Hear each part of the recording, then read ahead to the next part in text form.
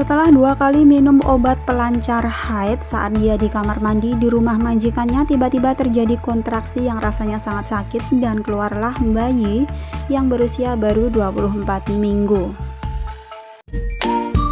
Assalamualaikum warahmatullahi wabarakatuh Halo sahabat dunia BMI Welcome back to my channel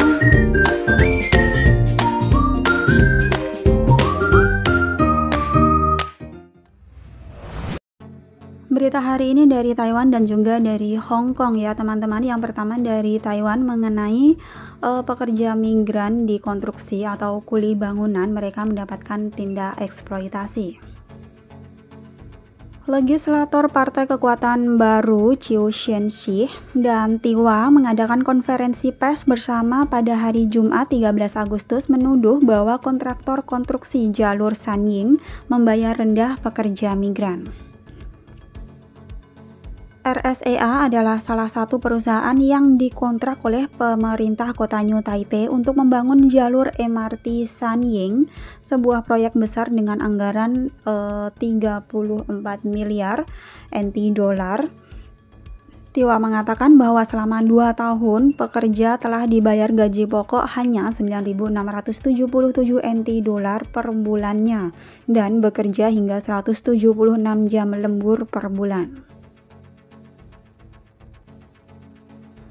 Selain 2000 NT atau 4000 NT yang diberikan kepada para pekerja untuk menutupi biaya hidup di Taiwan, gaji juga dibayarkan oleh mitra bisnis RSEA di Indonesia PT Wijaya Karya atau WIKA dalam mata uang rupiah. Menurut Tiwa, sebelum datang ke Taiwan, pekerja diminta untuk menandatangani kontrak kerja dengan PT Wika yang syarat pembayarannya mengikuti standar gaji Indonesia. Pekerja menerima slip gaji dari RSEA yang seluruhnya ditulis dalam bahasa Indonesia. Pembayaran lembur mereka dengan nilai 47 NT dolar per jam dibagikan secara tunai di lokasi konstruksi.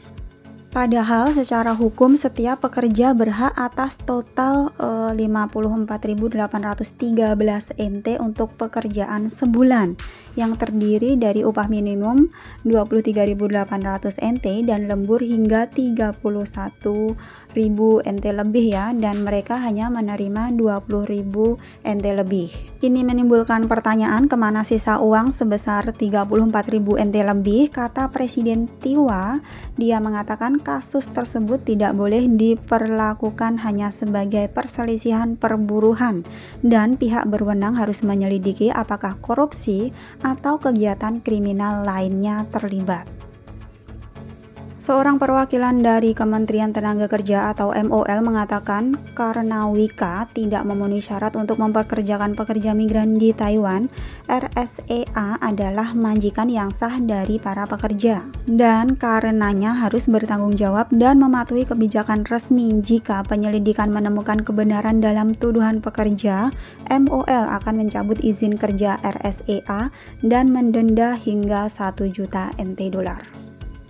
Bismillah kita doakan bersama-sama ya teman-teman. Semoga hak para pekerja migran Indonesia para teman-teman kita ini uh, bisa terpenuhi dan juga masalah ini bisa segera selesai. Amin amin ya robbal alamin. Dan untuk pihak terkait yang telah uh, membantu menuntut memperjuangkan hak pekerja migran Indonesia terima kasih.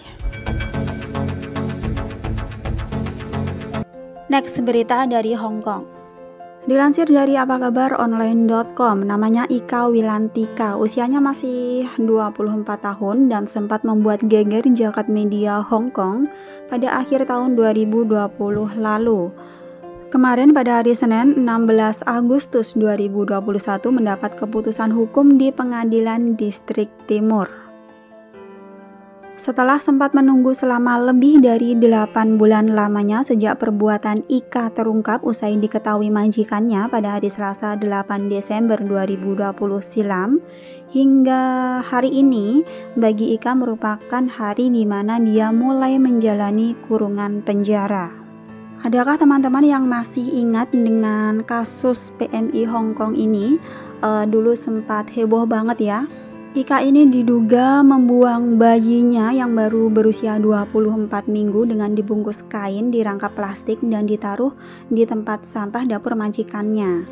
Hal itu terungkap setelah seorang majikan di Wahai House, Tung Hei Kau, 38 Yu Hing Road, Sau Kewan terkejut menemukan sesosok bayi baru lahir di dalam kondisi dibungkus kantong plastik di dapur apartemennya pada tanggal 18 Desember 2020 sekira pukul 21.00. Majikan tersebut langsung menghubungi aparat kepolisian dan menyampaikan temuannya dan tak lama berselang polisi yang datang ke lokasi langsung melakukan olah TKP. Tak memakan waktu lama, investigasi yang dilakukan polisi mengerucut pada seorang PRT asing asal Indonesia yang menjadi pelakunya. Di persidangan, Ika mengaku tidak menyadari kalau dirinya mengalami kehamilan sebab selama ini Ika selalu rutin melakukan suntik KB sehingga kehamilan yang dia alami tidak pernah dia bayangkan. Sakit perut yang dia rasakan, dia carikan jalan keluar dengan meminum obat pelancar haid sebab dirinya menduga siklus haidnya sedang tidak normal, sebagaimana yang sering dia alami sebelumnya bahkan sejak ada di Indonesia. Namun di luar dugaan Ika dengan dua kali meminum obat tersebut, obat pelancar haid tersebut ya teman-teman saat dirinya berada di kamar mandi, tiba-tiba terjadi kontraksi dan rasanya sangat sakit dan keluarlah orok bayi yang berusia 24 minggu dalam keadaan tidak bergerak sama sekali. Jadi bisa dibilang Mbak PMI ini mengalami keguguran ya teman-teman.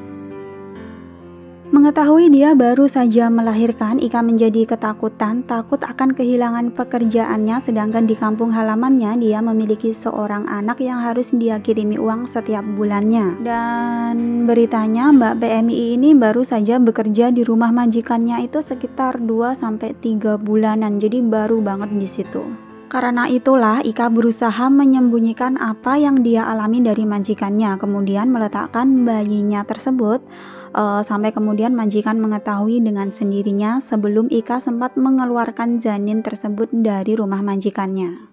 Kemarin uh, pengadilan tidak mengungkap ya dengan siapa Ika mengalami kehamilan. Setelah pengadilan mendengarkan dan mempertimbangkan Ika yang merasa yakin tidak mungkin mengalami kehamilan lantaran dia secara rutin melakukan suntik KB sehingga hal tersebut meringankan putusan hukuman yang diputuskan oleh hakim.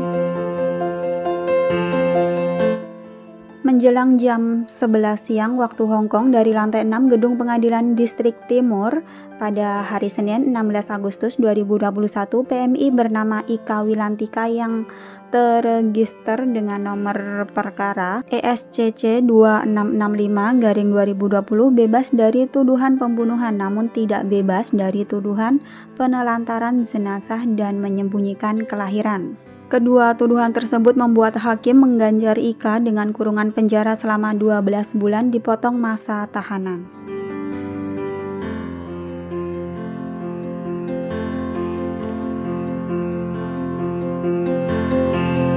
Thanks for watching and see you next video. Wassalamualaikum warahmatullahi wabarakatuh.